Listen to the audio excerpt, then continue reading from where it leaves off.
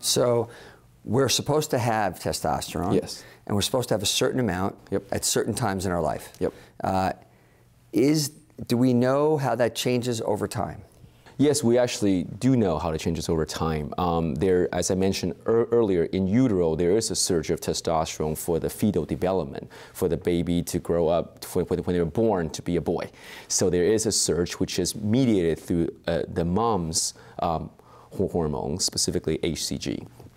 In during puberty, there's also another surge of testosterone for men to, to start developing their secondary sexual characteristics, um, deepening their voice, increased muscle strength. How long does that last? So, I mean, if we have a surge, is it a surge for a week and then it kicks off all these changes, or does it go up and stay up for a long time? It, it goes up and actually stay up for a, a couple of years until puberty finishes. Um, so there is a surge at that time as well. But then for the most part, during the a man's, you know, the end of puberty, that, that surge actually, that level stays pretty steady.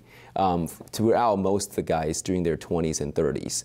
And then as a man age, just like woman's hormone goes down with aging, a man's hormone also goes down with, aging. So we call them andropause. Then that's one of the words you might hear on commercials and that kind of stuff. As the testosterone is going to go down, instead the menopause for women, we call them andropause for men. The other word I heard was manopause Sure. instead of menopause. So, Exactly, yeah. yeah. Um, and so th- th- th- that change takes place.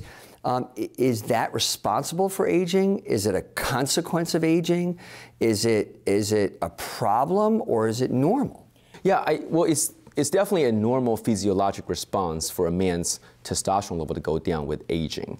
Um, back in the day, before we recognized this phenomenon, we just assumed that, okay, well, when you become middle age, 50s, 60s, it's normal for you to get more tired. It's normal for you to can't keep your eyes open doing through the shows after dinner. You know, normal to to gain some weight. Um, it's normal to uh, uh, have issues relating to you know erections and sex drive, but that we just assume associate that with just part of aging. You know, that's what my grandfather looked like, so that's what I'm going to look like when I'm 60 and 70. I'm not going to be as active.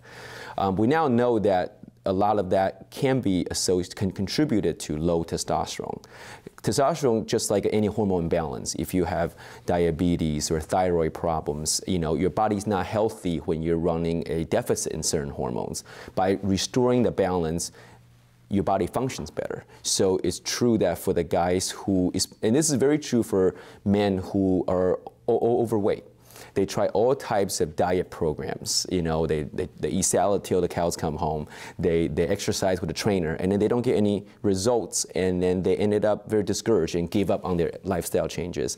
And in part of these groups of men, they're- the, part of the problem is a hormone deficiency because if you have an imbalanced hormone, it's harder for them to lose weight. It's harder for them to get motivated and, and get the energy they need to go work out. So, and studies have shown that by restoring their balance in combination with the lifestyle changes, there are positive body composition changes associated with it. So, um, I think men, we're demanding a little more these days just because we're 60. We don't want to feel like 60, you know? So, and by no means is testosterone a way of anti aging to make a 60 year old man 20 year old again. But if you can give them maybe five years or 10 years and get them body back a little bit more, stay active a little longer, and that, I think that's something that's very positive for the patient.